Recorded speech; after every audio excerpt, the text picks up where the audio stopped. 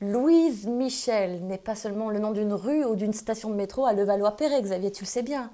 C'est avant tout celui d'une femme exceptionnelle.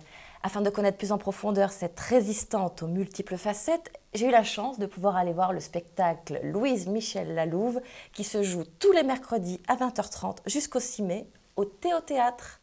Nous sommes le 4 mars 2015 au Théâtre. La pièce Louise Michel Lalouve ne va pas tarder à commencer. Le public arrive, la comédienne est en train de se préparer, c'est pour ça que je parle pas trop fort. Pourquoi Louise Michel? Pourquoi la Louve?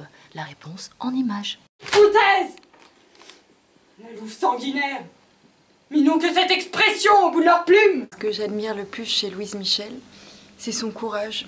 Elle a vraiment un courage extraordinaire. Je n'ai jamais supporté l'injustice qui frappe qui humilie? C'est sa manière d'être en totale adéquation entre ses paroles, ses pensées et ses actes. Tu sais bien que lorsque réapparaît Louise Michel, les profiteurs peuvent s'inquiéter. J'aime beaucoup les répliques féministes. Une femme doit être jugée comme un homme. On se moque des femmes depuis la nuit des temps. Là, j'en profite pour, euh, pour y mettre tout mon cœur. Moi, je la vois comme une femme complète. D'accord? Femme complète, femme politique, une militante, une activiste. La démocratie pour tous Une chercheuse, une poétesse. Dévoiler mes pensées les plus enfouies en tournant des vers, c'est certainement apparaître dans ma pleine vérité.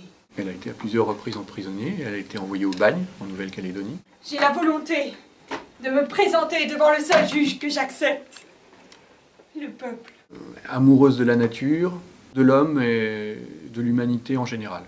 Tout cet amour qui est en moi, je n'ai jamais pu m'empêcher de le donner. Continuez, messieurs, appelez-moi ainsi, tout simplement, la louve. En réfléchissant bien, je me découvre fière d'être insultée aussi justement.